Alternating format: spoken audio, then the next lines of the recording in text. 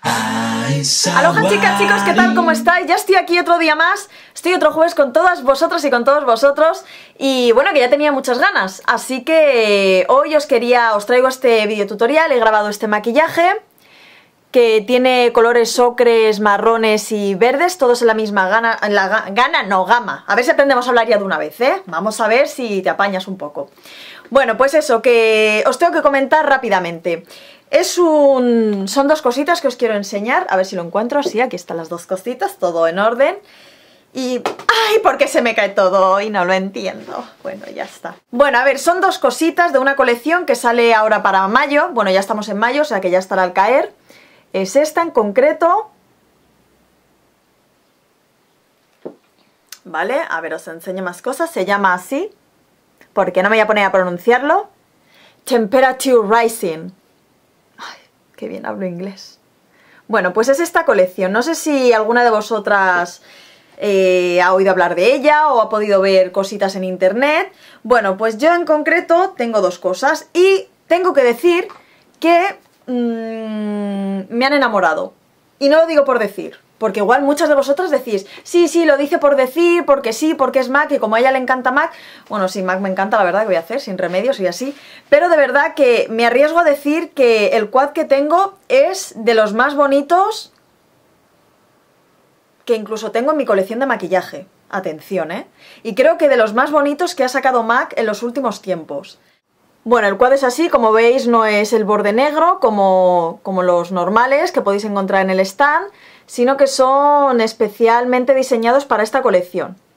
Bueno, ya estáis viendo los colores, os voy, los voy a acercar a la cámara para que los veáis bien y con detalle, porque son una pasada. Y os voy a decir por qué. Primero, porque la gama es perfecta para mí. Ya sabéis que adoro los, con las tonalidades cálidas, los marrones, y bueno, sombras que me parecen especiales, realmente todas. Esta quizás es un poco más normal, no es que, no es que sea normal, es que es como que la podéis encontrar, se parece un poco a la Satin Top, es más clonable, pero es que este marrón, increíble. Este verde, no tengo palabras, y este es el dorado ocre más bonito que he visto en mi vida. Le da, le aporta una luminosidad, lo tengo puesto en el centro, le aporta una luminosidad al ojo que, bueno, increíble. Esto para este color para las morenas, brutal.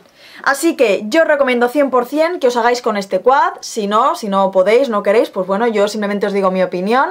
Creo que merece muchísimo la pena, que son colores que voy a utilizar mucho. Y bueno, pues nada, el precio de este quad, os lo voy a decir porque lo tengo aquí, es de 45 euros. ¿Por qué me ha gustado también? Bueno, porque ya sabéis que MAC tiene diferentes texturas de sombras y hay, y hay unas que son más secas que otras o cuestan más de trabajar. Pues estas en concreto son como muy blanditas, se trabajan perfectamente, se integran muy bien con, el, con la piel, con el párpado y aparte son muy pigmentadas. Os vais a dar cuenta que si podéis probarlo, tenéis la oportunidad de ir al stand y tocarlas, vais a ver como con una pasada, bueno, os hago ya la prueba, con una pasada vais a obtener una alta pigmentación. Es un marrón como incluso ocre, uff, es increíble, precioso. Precioso quad, enhorabuena para MAC, enhorabuena, señores de MAC, os habéis portado muy bien, habéis hecho un quad cojonudo. Y otra cosita que tengo es un gloss que también me parece muy mono, sobre todo es que es muy cubriente. Y bueno, en el tono, bueno, por cierto, no os he dicho, se llama, este quad es Bare, Bare My Soul. Y este gloss se llama Rhythm, Rhythm.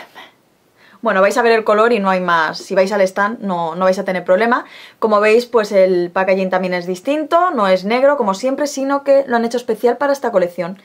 Es un color eh, morado, bastante cubriente, me voy a poner bastante para que podáis apreciarlo. Y tiene destellos dorados. Me lo voy a poner, porque, bueno, ahora los labios llevo otro, pero bueno, me lo voy a poner encima para que lo veáis. Luego en realidad no queda tan, tan morado. O sea, es cubriente porque sí, es un gloss que, que tiene alta pigmentación. Mira qué mono, qué mono. Cuantas más capas deis, pues eso, mayor intensidad de color. Muy bonito, sí señor, muy bonito, me gusta mucho. Y el precio de este gloss es de 19 eh, euros. Y queda así. Escubriente me refiero porque no es el típico gloss acuasí, aqua, no sé hablar, no sé hablar, acuosillo, sino que es muy cremosito y muy cubriente, muy sabrosón. Le da un toque de, luz al rostro, no se me ve tan monótono. Pero bueno, he optado por otro labial. Lo siento, chicas. Ya sabéis que yo, la cabra siempre tira al monte. Así que ya os digo, mm, mi recomendación, este quad sin ninguna duda es increíble, colores muy ponibles para tanto invierno, primavera, verano, rubias, morenas, aunque las morenas nos quedan más potentes, ¿sabéis? Estos colores. Y bueno, que no me enrollo más, que espero que os guste el tutorial y vamos a empezar. No os vayáis, ¿eh? Hmm. El primer paso que voy a hacer es aplicar una prebase para párpados. Ya sabéis que nos va a permitir que las sombras que vayamos a poner a continuación nos duren mucho más tiempo, que los colores queden algo más vibrantes. Y bueno, creo que es un paso fundamental, al menos para mí.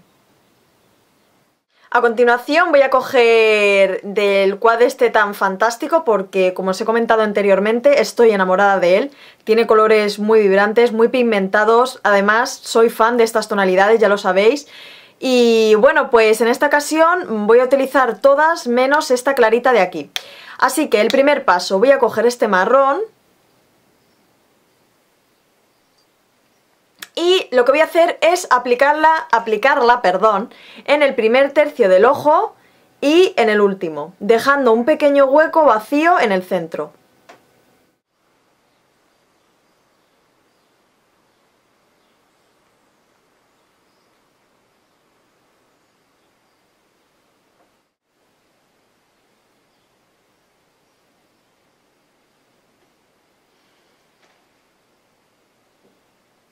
Ahora lo que voy a hacer es difuminar un poquito para que no queden cortes y en este caso voy a utilizar un pincel, a ver, tipo, no, tipo no, es el 217 de MAC y lo que vamos a hacer es ir integrando la sombra en el párpado.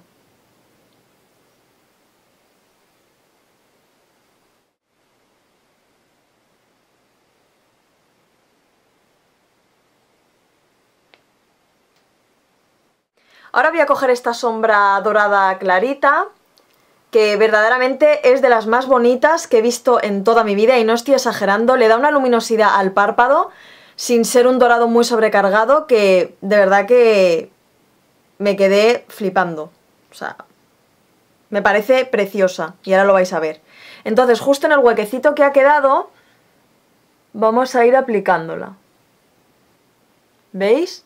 Os voy a hacer un zoom para que veáis la sombra. Porque me parece un color precioso.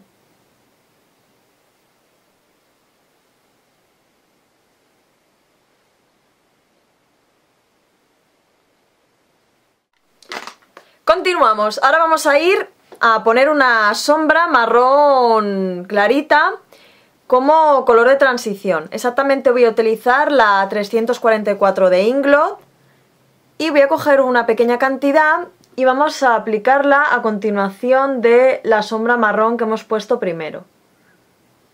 Entonces lo que nos va a permitir es que nos cree un efecto como en degradado y que no se vea ningún corte.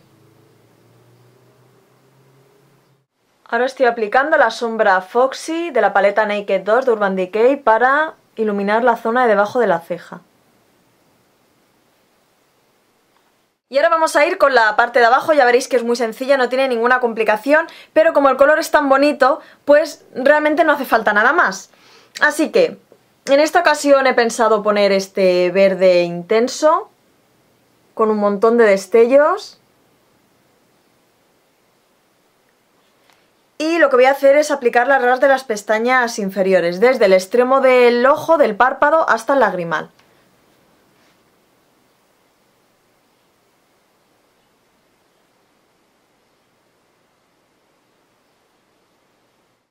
Y con el pincel 10S de Inglot lo que vamos a hacer es ir difuminando un poquito la sombra que hemos puesto.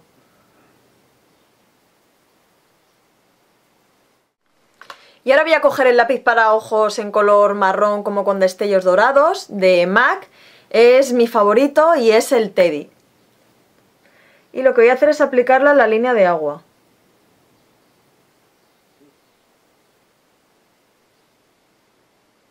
Y ya está, señoras, ya tendríamos hecho el maquillaje de ojos, como veis es muy sencillo, no tiene mayor complicación. Lo único que los colores son una maravilla, son increíbles, muy recomendables.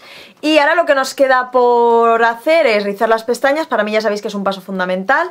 Y siempre para definirlas utilizo, bueno, siempre últimamente, para que os voy a engañar, eh, esta máscara de pestañas de L'Oreal y para darle mayor intensidad, que se vean más negras, más tupidas, más largas, utilizo la Shocking.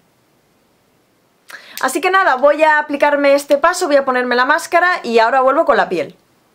Bueno señoras, pues ya estoy aquí, ya me he aplicado la máscara de pestañas, ya tenemos los ojos totalmente preparados, en las cejas he aplicado el Brow Set de MAC en el tono Beguile para aclarármelas ligeramente y que el pelo se quede fijo. Así que os comento, en la piel he mezclado estas dos bases de maquillaje de Bobbi Brown, ya sabéis que me encanta, es de mis favoritas. Una en el tono 3 y otra en el tono 425, entonces mezclándolas obtengo mi tono perfecto. Y luego para las zonas conflictivas, que ya sabéis que tengo rojeces por la zona de, de debajo de los pómulos, y ahora un poquito aquí encima de las cejas tenía algún granito, pues utilizo este corrector de NARS en el tono Custard, que estoy muy contenta con él, lo llevo utilizando ya varias semanas, cubre, mmm, aparte no es eh, graso, es decir, no tiene aceites ni nada por el estilo, y cumple las expectativas que yo necesito, así que este corrector. Y ahora ya sabéis que la zona de las ojeras no lo utilizo porque es algo seco y me, se me cuartea y no me acaba de gustar el resultado. Así que para la zona de las ojeras voy a utilizar el Select Moisture Cover de MAC en el tono NW20 y en esta ocasión lo voy a difuminar con el pincel 224 de MAC.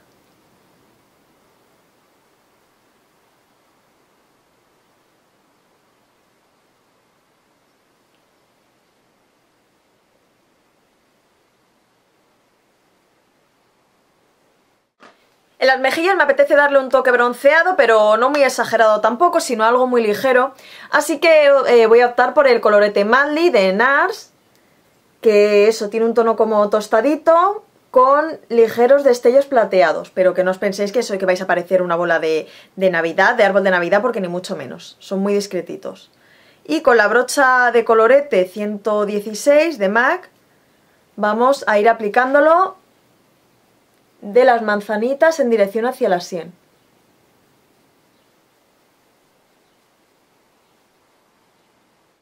Y hoy me apetece utilizar un iluminador en crema, así que voy a usar este de MAC, que lo podéis encontrar en lineal fijo.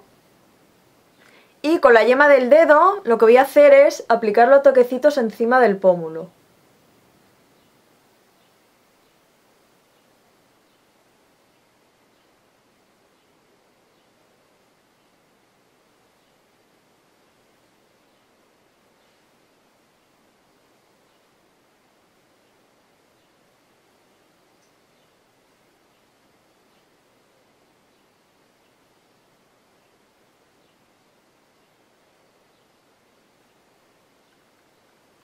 Y para labios ya sabéis que la cabra siempre tira al monte y en esta ocasión, y como muchas, a mí me gusta muchísimo los labiales de, color, eh, de colores naturales, incluso nude.